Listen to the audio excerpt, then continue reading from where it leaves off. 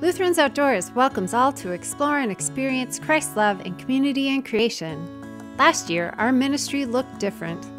We engaged in community through virtual events while our camps were closed. As we look to summer 2021, we are excited to welcome campers of all ages back to camp. This summer, campers will ride horses across the open prairie at Klein Ranch, Campers will adventure and serve throughout the Black Hills, and families will experience a faith filled vacation at Outlaw Ranch. Young people will splash in the waters of Enemy Swim and NeSoDak, and so much more. Camp will look a little different. Safety will continue to be our number one priority.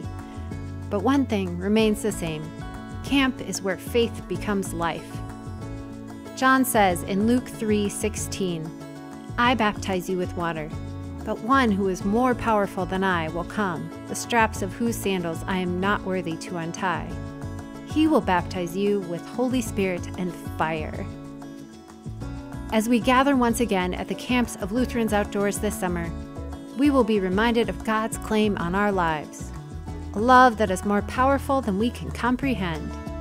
We will share in this love and experience the Holy Spirit and fire at work in our lives and the world. We trust in the power of God in our lives, the promise, hope, and joy to come. Join us this summer to experience Christ's love in community and creation. We'll see you at Klein Ranch. We'll see you at Outlaw Ranch. I'll see you at NeSoDak. See you at camp. Registration is now open. Register now at losd.org. See you at camp this summer.